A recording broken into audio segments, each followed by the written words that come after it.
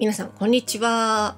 今回は1泊2日でバンクーバーアイランドに旅行に行きましたので、こちらについてご紹介します。えー、これはね、行きのフェリーの中のあの動画なんですけど、天気がめちゃめちゃ微妙ですよね。はい。まあ、心配ですけれども、楽しい旅だったので、ご心配なく。はい。で、まずバンクーバーアイランドは大都市のバンクーバーからフェリーで2時間くらいにある島です。自然に囲まれた島でサーフィンやホエールウォッチングなど様々なアクティビティが楽しめます。今回の旅のルートは1日目にナナイモという街に行って、2日目にビクトリアという街に行きます。この動画はね、ナナイモだけを紹介します。ナナイモでは私の友達に会いに行きました。ナナイモは港町でのんびりした街。友達とランチしてカフェに行って、まあ、ゆっくりする予定です。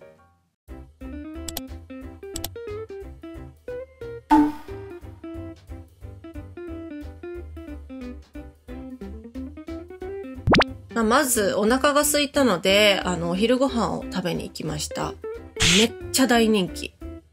で、オレンジジュースを作る機械を発見しました。これ初めて見たんですけど、これ超フレッシュジュースですね。私が頼んだのはこちらのプレート。ヤムケークとトーストのプレートです。美味しそう。これなんだろうね？何？これ。あ、ヤムケーキ。あ、これが、うんうんうん。ヤムケーキ。ヤムと、レントも入ってる。へー。うん。こっちは、ビーガンメニュー。うん、豆腐と、ペスト。うんうんうん。と、ケアわかる？はいはいはい、はい。ケアの、なんかバターみたい。へー。でも、バター入ってないまま。なるほどね。あと、私もヤンケーキもあります。すごい、ありがとうございます。うん、3つ。うん。橋みたいになってる。うん、本当に橋に似てる。はい、いただきます。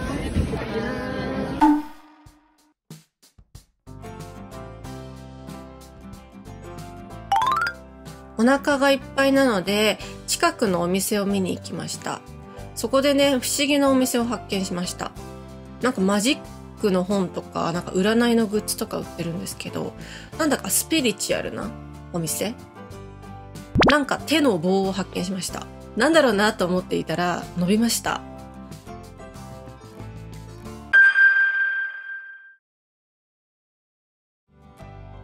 マジックの本売ってたんですけど、あの、絵が可愛いですね。他にも石鹸とかお香とかがいっぱい売ってて、なんだか不思議なお店でした。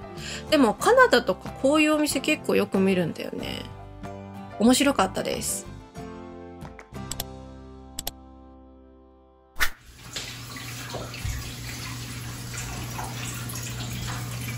これなんじゃこりゃ。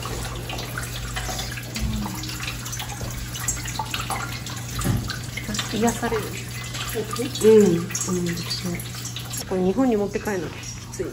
でかい、うん、でも15ドルだって。結構安い、うん、そういうの高くないねねちょっとダイナソーねちょっとねかわいい。ね。かわいいアボカド？何、うん、これなんだろう？コーヒー。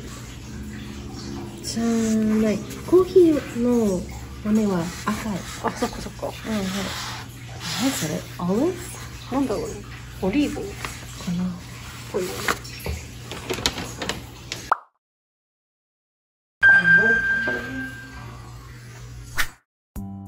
次は猫ちゃんのお店。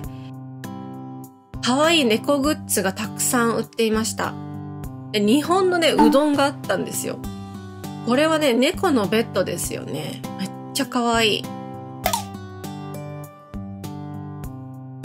お店を見ていたら猫ちゃんがいました。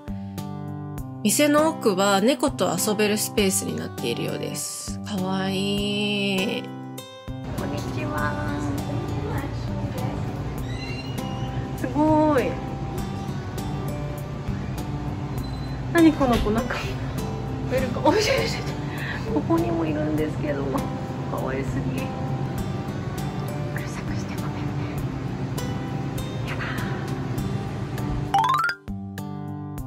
次は車で移動しながら友達が働いているカフェに行きました。着きました。こちらのカフェですね。雰囲気がとても良くて落ち着くカフェでした。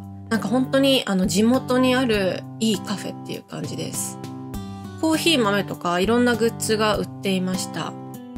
そしてなんと友達がラテを作ってくれました。すごい。めっちゃ美味しそう。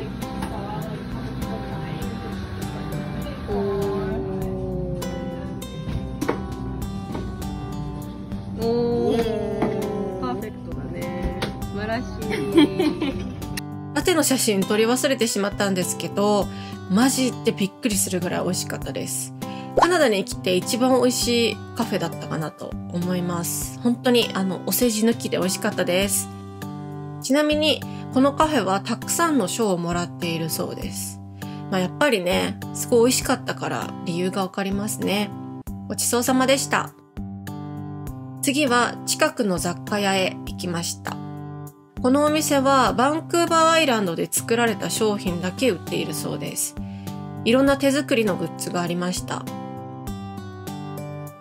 ポストカードめっちゃ可愛かったですね。最後にビーチに行きました。ちょうど引き潮だったので全く水がないんですよね。はい。でもいい景色です。で、なぜか二人でカニを探すという謎の遊びをしました。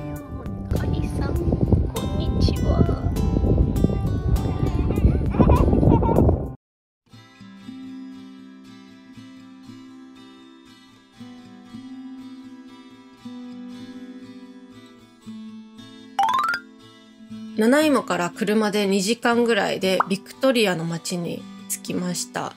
もう夜なんですけどかなりいい景色です。なので、あの次回の動画で次はビクトリアについてご紹介したいと思います。お楽しみにそれではご視聴ありがとうございました。バイバーイ